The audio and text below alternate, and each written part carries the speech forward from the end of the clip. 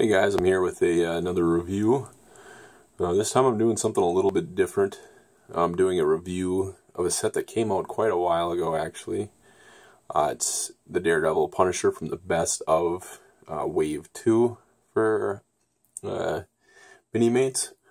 Um, Diamond Select uh, released these two greatest hits waves that pretty much had all the common people in it, you know, Captain America, Wolverine, Sabretooth, just just um, very common uh, Minimates.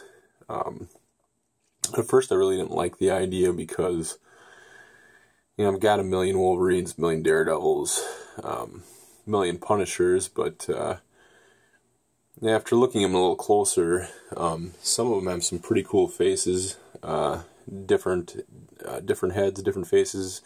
Paint's a little bit tweaked. Um, this Punisher actually here uh, I wanted for a long time. Uh, he's pretty much, I don't know what you'd call him, the quiz, quintessential Punisher. I mean, he's just everything the comic Punisher should be.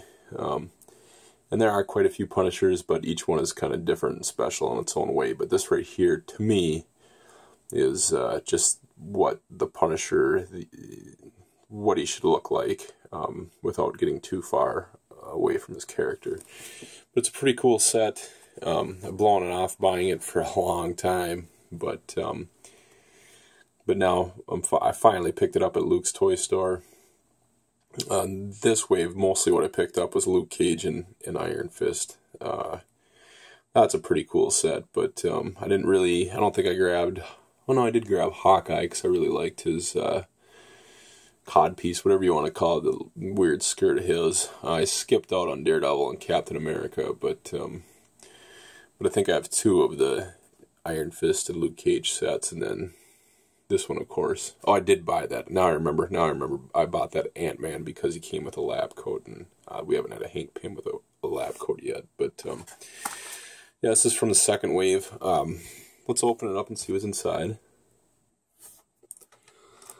So this actually has quite a few items in it. Um, Daredevil comes with his normal uh, I forget what they're called. This the sticks is fighting sticks, Boca sticks or something like that. I think is what they're called. Uh, comes with a hairpiece, and then uh, he's got a rope with his uh, hook and his cane transformed. Um, that looks like I'm gonna have to trim it down, just that extra string on it, or move it down anyway. Uh, Punisher comes with a missile launcher uh, and a couple guns and a knife uh, he does have a holster. Let's take him out of the tray and, and set him up a little bit. So here they are, um, out of the package. Daredevil comes with uh, blind Matt Murdock, uh, no glasses. There's a couple other Daredevils out there, and, and one of them has uh, glasses underneath, which is always nice for customs. I did make a really cool custom Matt Murdock uh, in his suit and tie and uh, his glasses and stuff. And uh, Punisher has a holster for his knife and gun on the other side. They actually fit very well.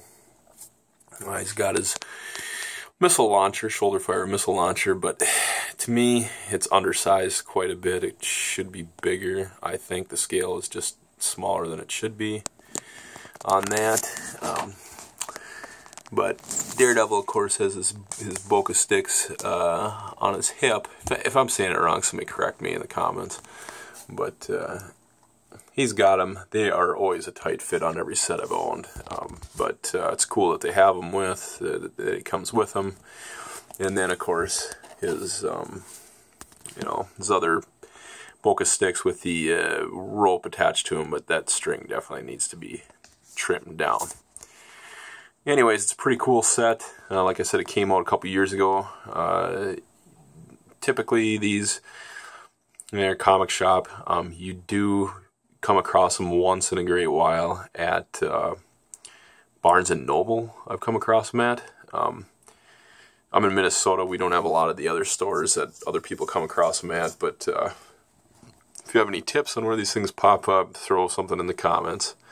Um, but otherwise, let's uh, set up a rooftop scene with these two.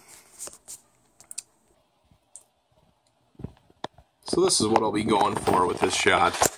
Um, Frank, of course, is on the corner of the uh, building, ready to kill some somebody or some buddies with his missile launcher, and uh, of course, uh, Daredevil behind behind him, uh, ready to knock him out with his club, stop him from killing whoever he's killing.